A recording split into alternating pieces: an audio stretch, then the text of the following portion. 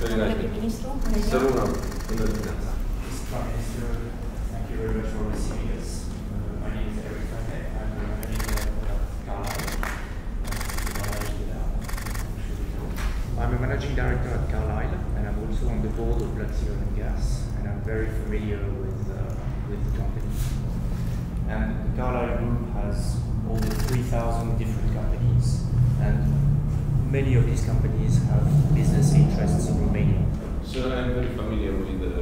project and we are all looking forward to have the gas out as soon as possible from the plexi. So I know you are also uh, uh, looking uh, and uh, trying to find solution and waiting for the offshore law uh, to be approved as soon as possible.